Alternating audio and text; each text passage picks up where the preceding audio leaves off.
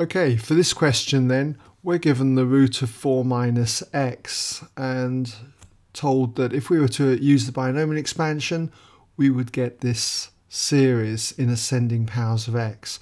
And we've got to find out this value of k. It's a rational constant. So how do we do this? Well, you should be familiar with the binomial expansion formula. Just as a reminder, if you've got something of the form 1 plus a all raised to the power n, it's identical to this series. The next term would be n times n minus 1 times n minus 2 times a cubed all over 3 factorial and so on. Now, what I need to do though is get this in this form here where it starts with a 1. So let's just handle that bit first of all. Let's take the square root then of 4 minus x. And we represent this as a power as 4 minus x all to the power half. Now the next thing we do is we pull out the 4 and if we pull out the 4 we end up with 4 times all of 1 minus a quarter x or x over 4 and that's all raised to the power a half. But we can distribute that half in a situation like this where we've got a product of two values. We can put that half across the 4 and also across the bracket there. Now the square root of 4 is 2 so this is just going to be 2 then and now we have got this bracket in the form here 1 plus a to the power n, where a is the minus a quarter x, or minus x over 4, and the power n is the half. So we just carry on expanding this now using this formula here. So we've got 1 then plus n times a, so that's going to be the power, a half, and that's multiplied by a, a being the minus x over 4.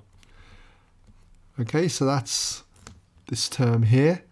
And now we're on this final term, which is going to be plus n again, so that's a half.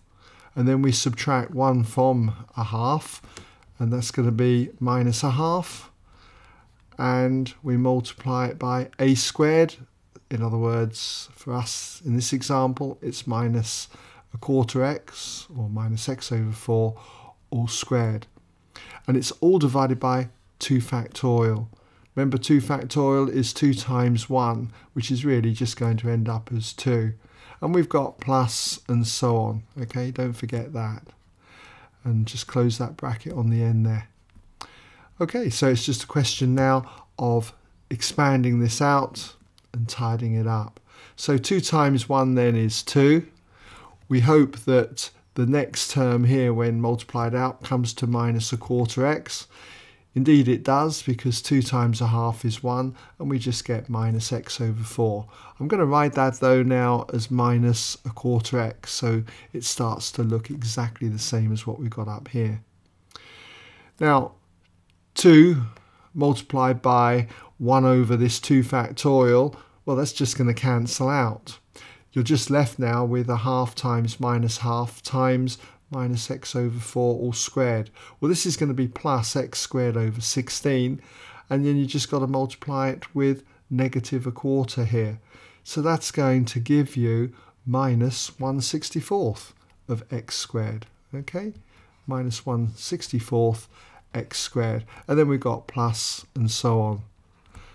And I'm just going to finish this off by saying that this is identical then to 2 minus a quarter x plus k times x squared and so on, where k is that rational constant and that rational constant is minus 1 over 64. Okay, so I hope you're able to follow that.